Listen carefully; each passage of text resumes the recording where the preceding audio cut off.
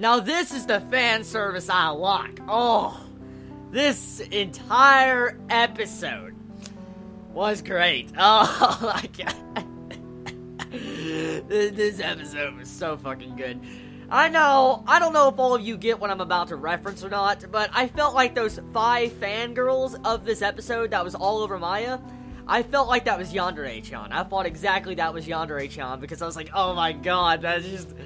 That was so good. I couldn't stop from laughing. This entire episode was too fucking good. It was just, it was so good. The, the comedy of it. The fan service comedy I like. Now, you all know how I feel about fan service, but this is the fan service I like because the way they managed to have the comedy flow with the fan service, because this is a series that doesn't really focus around fan service, and at the exact same time, it didn't really have cliche fan service. I mean, it did and didn't at the exact same time. I mean, the entire bit with the first half of how Momoka was trying to hide her pantsuit from getting photo like photo taken a photo of by all those creepy otakus. I mean, oh my god, there was like three people just trying to snapshot her pants. I'm like, oh my god. I mean, at the time it got to the like, you know, end of the first segment, I think that entire part really lost its luster, I'm gonna be honest. It felt like it overstayed its welcome the entire first half of this episode because it kept trying over and over again how you kept seeing these perverts trying to take a picture of Momoka.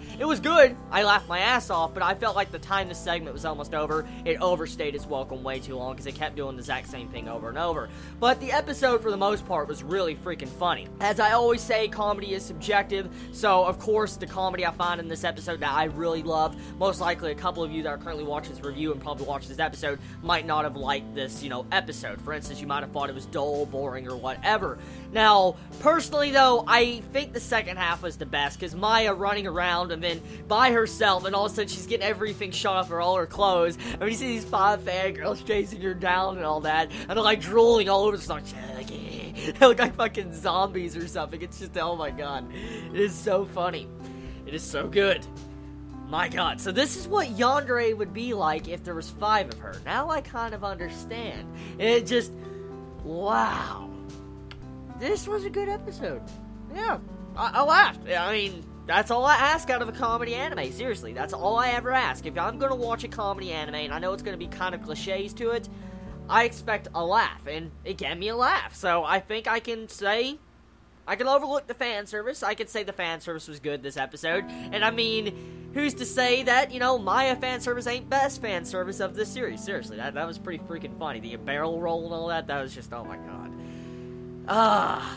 I, you know, I never would have thought I would have actually liked a fan service episode from this series. I want to be honest. I, I, didn't think I would, but I actually did. I mean, I don't know. Maybe it's just because the characters and the atmosphere that this series gives off that I can accept it, or I'm just going with it because I just couldn't help but laughing at the second segment. I don't know.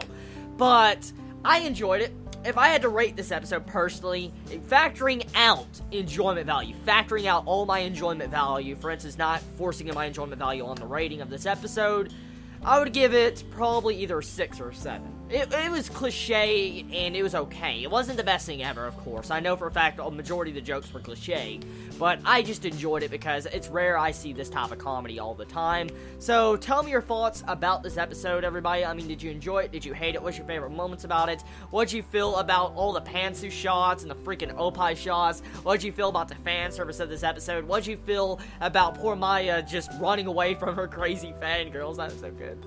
just tell me your thoughts, everybody. I love all of you so much much. You have a wonderful day or not, wherever you live. Please be safe. Chibi out.